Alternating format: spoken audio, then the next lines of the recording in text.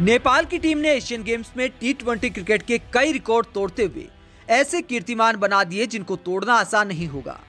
नेपाल और मंगोलिया के मैच में कुशल मल्ला ने सबसे तेज शतक का रिकॉर्ड बनाते हुए 34 गेंद में सेंचुरी बना दी।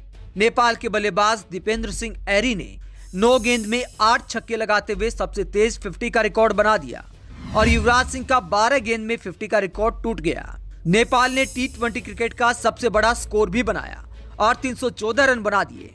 नेपाल ने मंगोलिया की टीम को 41 रन पर समेट कर दो रन से जीत हासिल की और टी में यह भी एक नया रिकॉर्ड है। हालाँकि नेपाल और मंगोलिया के मैच की बात करें तो कुल मिलाकर ये ऐसा हो गया, जैसे मोहल्ले की टीम का किसी इंटरनेशनल टीम से मैच हो जाए।